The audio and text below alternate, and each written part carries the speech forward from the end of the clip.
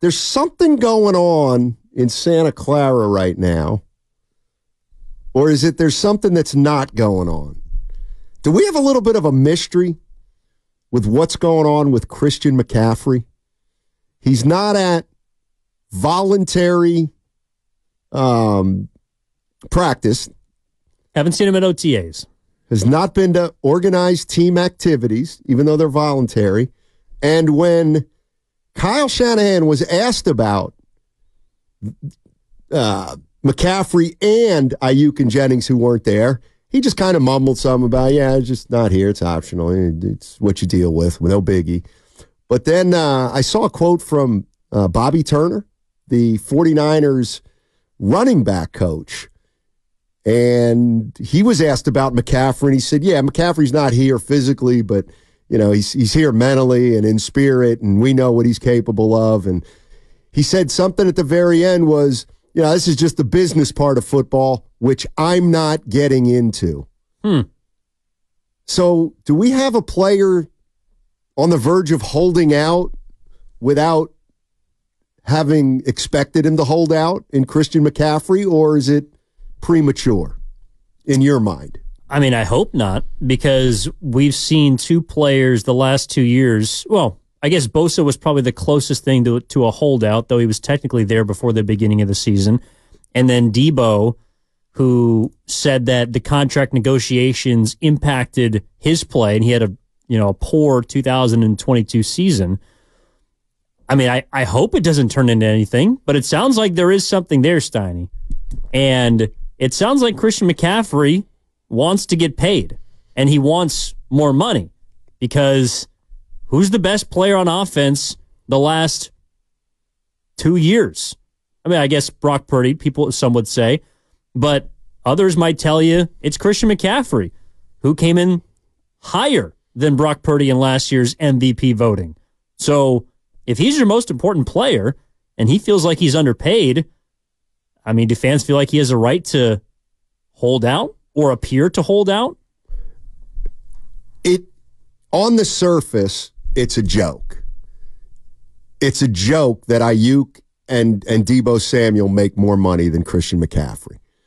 I understand that that template works for a lot of teams that throw the ball a lot, but if I'm Christian McCaffrey, as Guru would say, you damn right I'm feeling some kind of way that those two guys are going to get almost twice as much money as me when I tote the rock more. I catch balls just like them, and I am the piece that everybody revolves around. He's what? He's got two more years left on his deal, but the guarantees from this point on are um, are done. So Brian Baldinger had this to say with the uh, with the morning guys the other day, and it's uh, it's a little sobering. Not only that, but he's seen every other great player on that team cash in. Yep. So I mean, what's he going to do? Like take a pay cut, take a haircut, not cash in? I mean, it started with Fred. Fred cashed in. Nick cashed in in the last minute last year. Deebo cat. I mean, Juice cashed in for a second time. Yeah. So like what you know, he's just looking at going, okay, um, we, have got a team of great stars, um, and I'm one of those players. Uh, you can rank him any way you want, and you could say anything you want about the running back market. He was the MVP of the team, so why wouldn't he try to cash in while he can right now? That's Brian Baldinger on with uh, the morning roast on on Wednesday. He should. He should try to cash in. I mean, okay, so whether it's a big deal about him holding out or not, he's not there. The reason why he's not there, I believe, is because he wants to be paid. Right. Or he wants to be compensated for what he's done. For example, I know they're a little different in position. George Kittle makes $16 million a year, or about. Maybe he's like 15. That's about what Christian McCaffrey makes. Christian McCaffrey, in terms of scrimmage yards, doubled essentially what George Kittle did last year. Now, for those that might say, well, George Kittle blocks. So does McCaffrey. When he's not catching the ball, when he's not running the ball, he's always on the field. Christian McCaffrey is the most important offensive player on the San Francisco 49ers not named Brock Purdy. And on some days, he might be more important than Brock Purdy. So, yeah, I want to see McCaffrey get paid. And if this is what he has to do to do it, to get it, I support him 100%. See, this is the problem, and this is the kerfuffle that you get with Brock Purdy at quarterback. Oh, boy. You want to start a seventh round pick making less than a million, and everybody on that team knows he's getting paid in a year. These players are on a feeding frenzy. They, they need to get paid before Purdy because they're not going to have any money when they pay Purdy. Maybe that's what McCaffrey's thinking. I think he's also looking at where he's at in his career and saying, I'm 28. That's Yeah. about when running backs stop getting paid. So I kind of, I, I think Baldy's right. He does need to cash in and now and now. And I, I don't think it's just because of the players that are around him or the contracts that might be coming, but you know, he's, he's probably looking at where his athletic career is headed. And he's a smart guy. He understands who's going to get paid and who's not.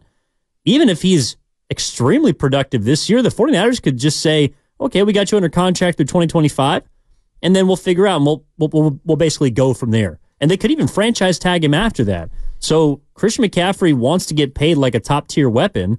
And we're discussing, you know, Justin Jefferson and CeeDee Lamb and all these 30 plus million dollar wide receivers. I don't think Christian McCaffrey should make 30 million as a running back, but to be essentially a middle of the pa- be paid like a middle of the pack receiver, he, he's probably wondering why. Like I, I'm the outlier. I'm the exception. The exception to the rule of not wanting to pay running backs because I've been your MVP since I stepped in the room. Yeah, and I mean, we, we should be clear. McCaffrey's not holding out right now. No. He's just not at a voluntary workout. But everybody seems to be talking about McCaffrey's money and how he may be seeing people cash in and he may think this is his opportunity. I mean, there's nothing stopping the San Francisco 49ers from doing what the Oakland Raiders or the Las Vegas Raiders just did, which is they just gave Maxx Crosby a raise because he's been that good. Just out of nowhere. They gave him a raise without adding any more years to his deal. So it happens. Um, 888-957-9570 is the number.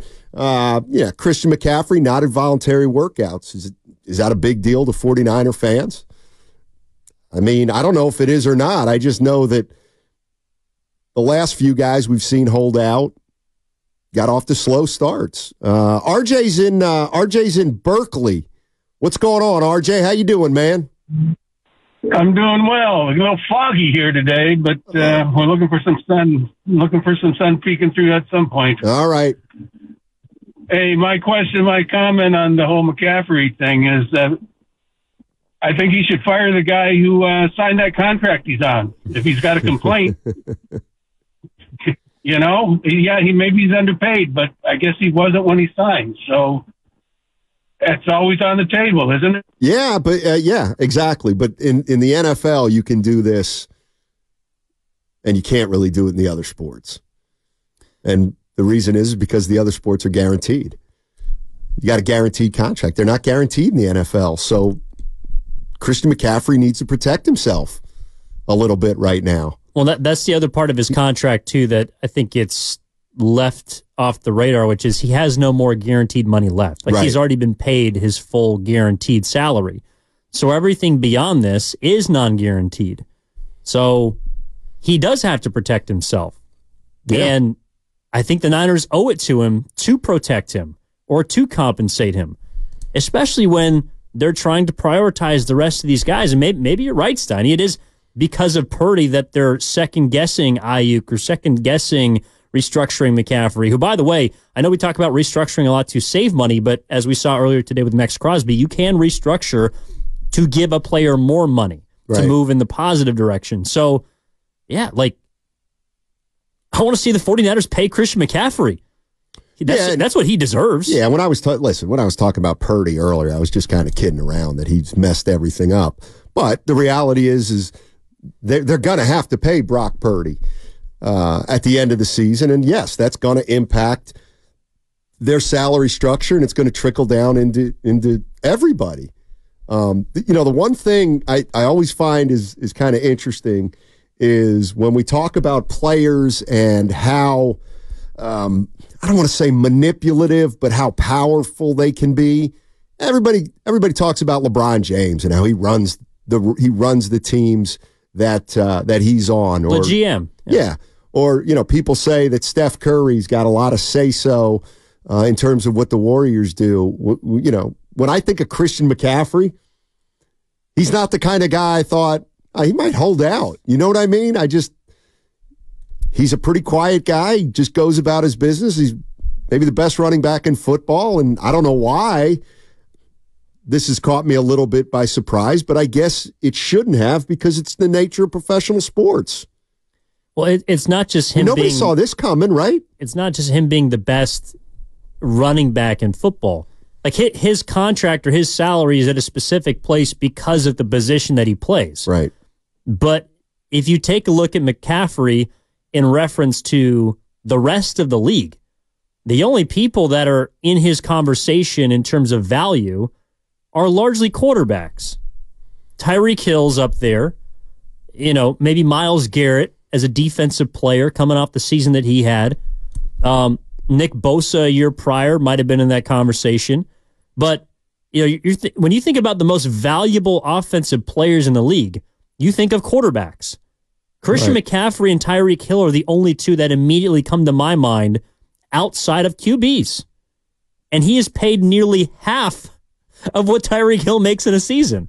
I think that's a big reason why he's saying, dude, I, I mean, I, will give you all I got. It's right. not as if I'm going to show up and be a bum right. and be out of shape. I'm working out. I want to be a big reason why the Niners can win a Super Bowl this year.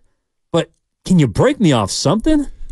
Like, can you can you give me a little bit, just a nibble? Yeah, I'm, it it sounds like the people who are um, kind of around the team, they're sending off signals that this may be about money.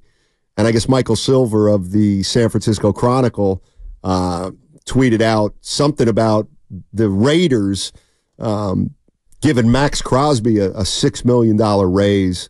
And Silver's suggesting, you know, that's what the 49ers are going to have to do, or that's what they should do, or that's what uh, that's what McCaffrey's looking at. But um, it's voluntary. He's not there, but it feels like where there's a little smoke, there's some fire. And how big of a deal do you think it is, 49er fans, that McCaffrey's not there? You know, what's funny is I, I'm not sure how big of a deal it is yet until we hear why he's not why he's not there. But 888-957-9570 is the number. Where is Christian McCaffrey? And the fact that he's not at um, OTAs, does that kind of scare you as a 49er fan, knowing what happened the last couple times that guys held out?